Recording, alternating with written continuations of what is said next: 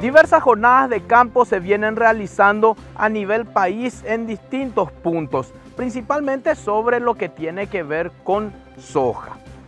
Y en este material hablaremos de lo que fue la jornada de campo organizada por la cooperativa Sommerfield y conversamos con uno de los organizadores, el señor Jacob Penner.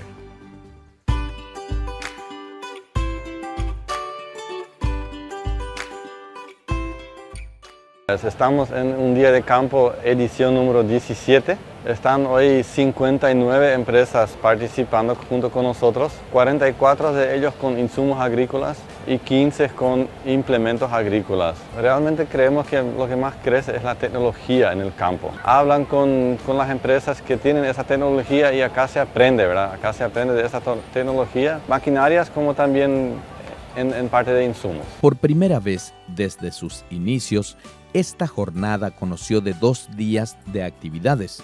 Durante ambas, los visitantes conversaron con los representantes de las empresas sobre las principales novedades que presentaron.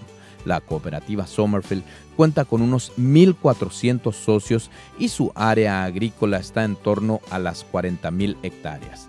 En lo referente a la adopción de tecnologías por parte de los productores de la zona, nuestro entrevistado dijo. Yo hace 10 años entré acá en Silo como funcionario y me acuerdo que en esa época el productor sacó como 3.000 kilos por hectárea como máximo y ya era un récord, un récord. Hoy en día el productor saca hasta 5.000 kilos por hectárea y yo creo que eso todo gracias a estos días de campo, ¿verdad? Como vamos haciendo ya hace muchos años estos días de campo, entonces el productor aprende acá y yo creo que eso le resulta después en el campo y saca un muy buen rendimiento ahí.